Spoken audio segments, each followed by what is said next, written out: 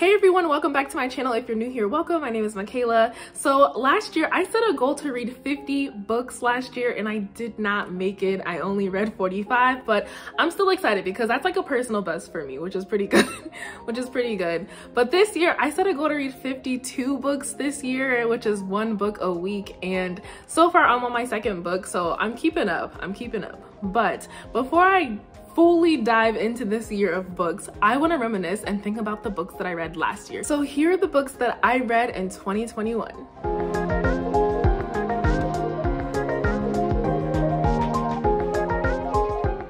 Because there's quite a few books on this list, the way I'll do this is I'll tell you the book that I read and then I will tell you what I rated it. And the books that I rated a little bit higher and lower, I'll, you know, tell you a little bit more about them just to kind of, you know, give you the tea. But I'll put all the Goodreads links to all of these books down in the description below. Let's just jump right into this video.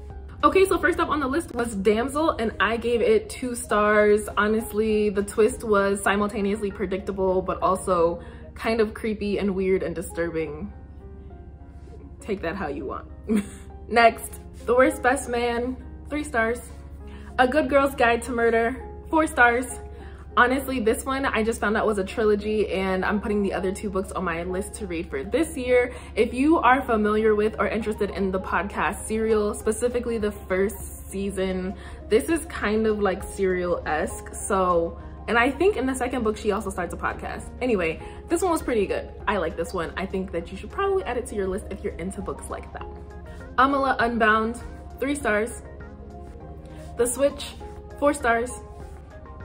Beach Read, four stars. And I also read the other book by Emily Henry, People You Meet on Vacation. I only gave this one three stars. And I think this one actually won uh, Goodreads Best Choice Awards for Best Romance. Honestly, this is even more like a two and a half, three-ish stars. I definitely liked Beach Read a lot better. Beach Read is an enemies to lovers trope and people we people you meet on vacation is a friends to lovers trope. The Seven Husbands of Evelyn Hugo, four stars.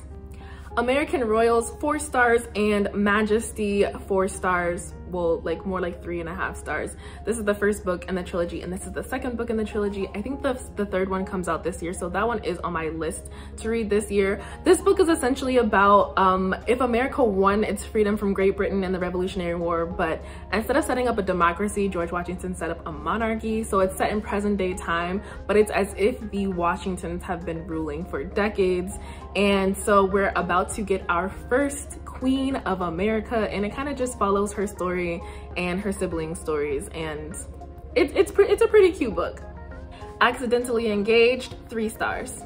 Seven Days in June, four stars. Anxious People, four stars.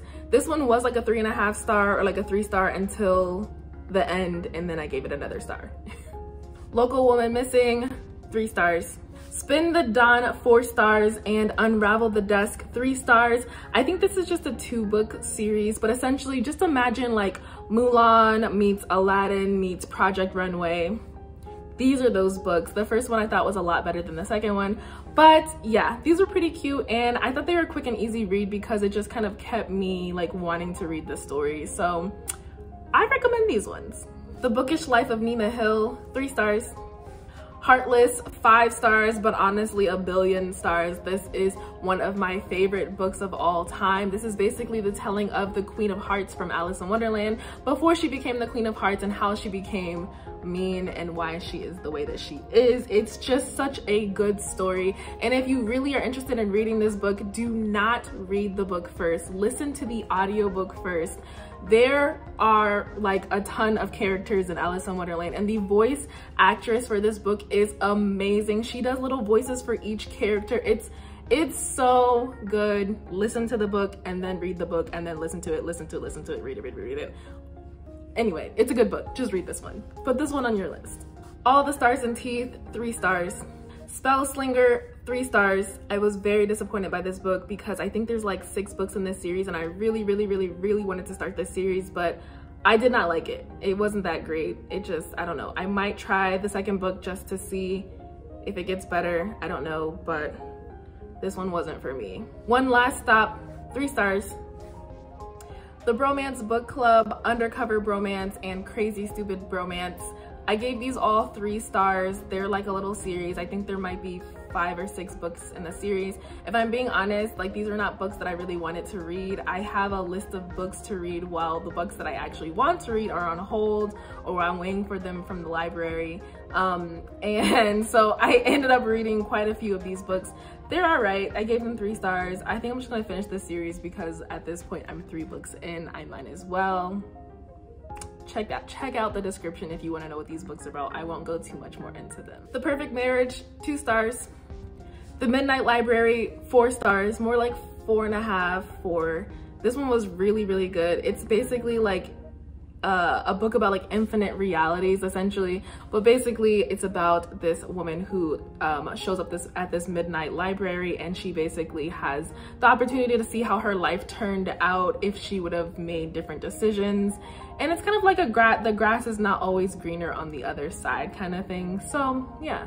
I thought this one was interesting. It was definitely interesting to read. Breakfast with Buddha four stars Crosstalk two stars way, way too long. And I get I get what they were trying to do here and I felt like this could have been a really, really good book about how connected, how too connected we are to uh, other people and the technology we use and things like that, but it missed this mark for me. It was just so long and drawn out. A Pho love story, two stars. It just wasn't for me.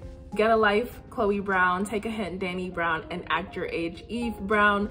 And these books are just really, really good. I love the diversity. I love um, how they talk about disability. I like how they talk about mental health. All these books are just really cute. They're kind of funny. They're really sweet.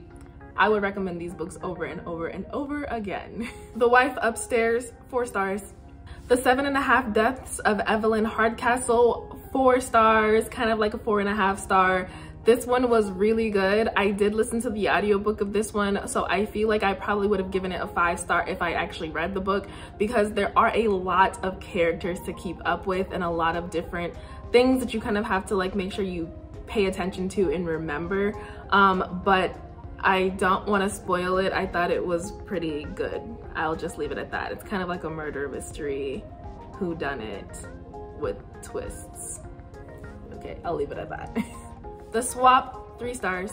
Pride, three stars. This is essentially just a retelling of Pride and Prejudice, but if it took place in modern day Brooklyn.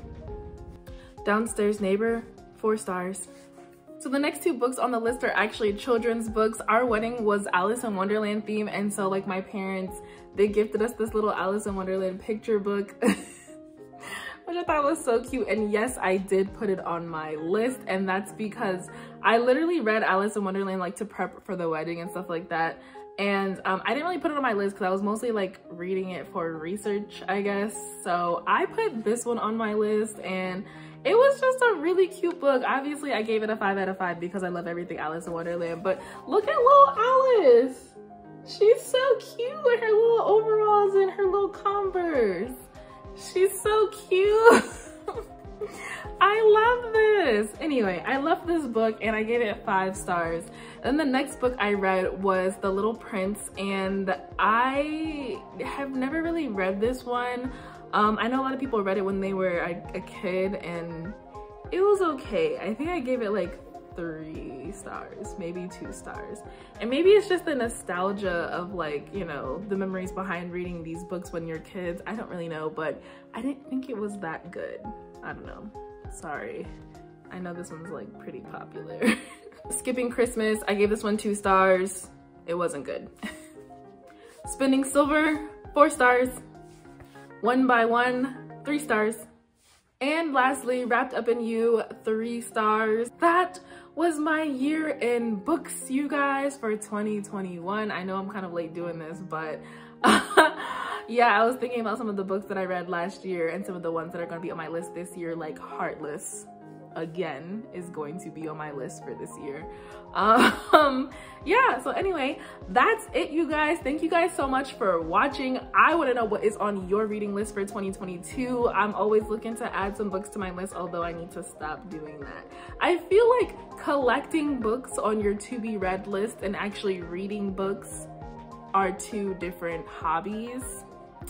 So yeah I need to get to the books that I have already on my list, but I'm always looking to add some more. So send your book suggestions my way and I will see you guys in the next one. Bye.